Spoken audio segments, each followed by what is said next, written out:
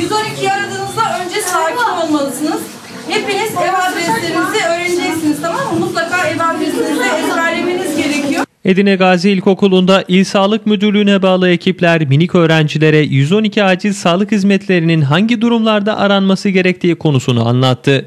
Adres verirken mutlaka bir e, bilindik yer söylemeniz lazım. Bu bölgenin bilindik yeri Selimiye Camii, Gazi İlkokulu, müze. Bunları söylerseniz ambulans size her zaman bilindik bir yer söylerseniz daha çabuk ulaşa- ulaşacaktır. Edirne Gazi İlkokulu'nda minik öğrencilere 112 acil sağlık hizmetleri telefon hattının gereksiz yere aranıp meşgul edilmemesi için hangi durumlarda aranması gerektiğini öğrencilere anlatan acil servis görevlilerini minikler büyük ilgiyle dinledi. Arkadaşınız duvardan düştü. Ne yapmanız lazım çocuklar? 112 arayacaksınız ama 112 ambulansı kadar arkadaşınızı kesinlikle hareket ettirmeyeceksiniz. Peki arkadaşınız Sara nöbeti geçirirse, Sara nöbetinin ne olduğunu biliyor musunuz? Hayır. Böyle kişinin kasılmaları olur böyle, elleri falan kasılır, gözleri döner, ağzından köpük gelir. Bu tarz hastalar görürseniz de anne babanıza da anlatın bunu diye söylüyorum. Bunları da kesinlikle hareket ettirmiyorsunuz. Önemli olaylarda arayacaksınız. Dişim ağrıdı, kolum ağrıyor diye gibi şeylerde değil. Çok acil, önemli şeylerde 112 aramanız gerekiyor. Öğrenciler 112 acil sağlık hizmetleri telefon hattının kullanımını öğrendikten sonra okul bahçesindeki ambulansları inceledi.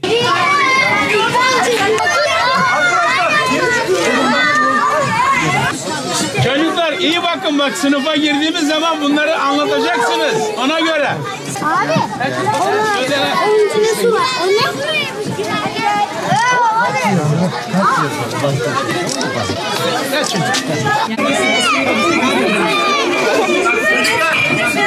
Konuyla ilgili gazetecilere açıklama yapan Edirne İl Sağlık Müdür Vekili Doktor Muhsin Kişioğlu, yanlış ve hatalı çağrı yapanlar ne yazık ki genellikle ilkokul ve ortaokul öğrencileri. Çocuklarımıza eğitim vererek bu yanlış çağrıları azaltmayı amaçlıyoruz. Bunun için Milli Eğitim Müdürlüğü ile bir protokol yaparak öğrencilere eğitim vermeye başladık dedi. Kaliteyi artırdığımız kadar doğru kullanmayı da amaçlıyoruz. Çünkü hizmetimizde şöyle bir sıkıntı var. Edirne Komuta Kontrol Merkezimiz bugün de az önce komutadan geçerek geldim. Komuta Kontrol Merkezimizde. Erhan Bey siz de buyurun. 1700-2000 civarında vakamız. Vaka için çağrı yapılmakta. Bu 1700 ile 2000 çağrının sadece ve sadece 100 tanesi komuta kontrol hekimlerimizce değerlendirilip çağrı çıkış yapılmakta. Yani bu da %5 ile %10 gerçek vaka anlamına geliyor. Bu yanlış ve hatalı çağrılar yapan da ne yazık ki işte ilk öğretim çocuklarımız, ortaokul çocuklarımız. Çocuklarımızı da eğitirek bu işi azaltmaya amaçlıyoruz. O yüzden bu il milli eğitimle bu protokolü yaptık ve bu eğitimlere de başladık. Bu bizim bildiğim kadarıyla 12. okulumuz ve toplamda Edirne'mizin tamamındaki ilk öğretim ve ortaokullarına çocukların hepsine bu eğitim vereceğiz. Bu sayede amacımız o.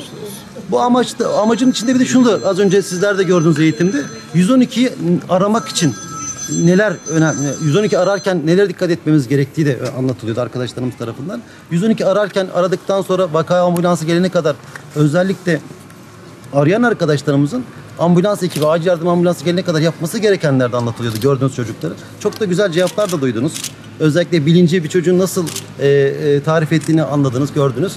Ya bu amaçladığımız hedefler doğrultusunda hizmet kalitemizi artırarak devam etmeyi amaçlıyoruz. Edirne İl Sağlık Müdürlüğü 2014-2015 eğitim öğretim yılında 54 okul gezerek 112 hattının kullanımını anlatacak.